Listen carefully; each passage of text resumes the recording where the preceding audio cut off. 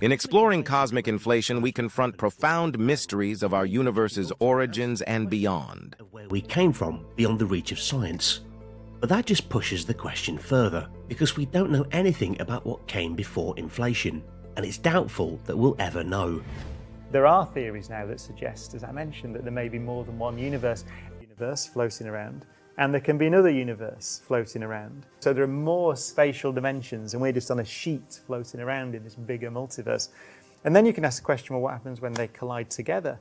And one of the theories about what caused the Big Bang is that actually what it was was two of these sheets, or branes they're called. So they collide together and separate. And when they collide together, they heat themselves up and you get something that looks like a Big Bang on that sheet of space and time, if you like. So that's another different theory for what happened before the Big Bang.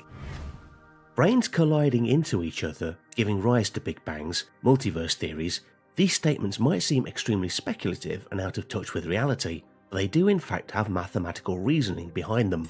And moreover, theories describing the very early state of the universe do have experimental support.